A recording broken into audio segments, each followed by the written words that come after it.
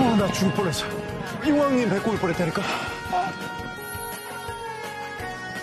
서현 선배. 아, 한참 찾아다녔는데, 어? 이제야 만나네.